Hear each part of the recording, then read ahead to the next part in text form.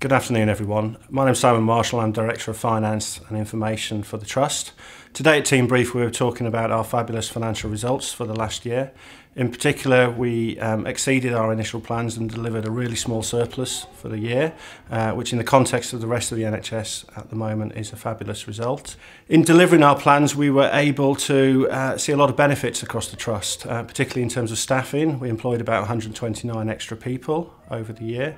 We also invested significantly in our estates and our equipment and our IT. But clearly, some of the things we were talking talking about a team brief was how do we meet our current challenges, particularly for how busy we are um, across the trust and how much work we're increasingly having to do, how we meet the challenges of, of securing ever higher levels of staff, um, and, and, and really trying to signal a, a different approach for the trust in, in, in future and trying to make sure that we do, um, I guess, the right levels of work across the trust and where it's possible to reduce some of the pressures um, upon us.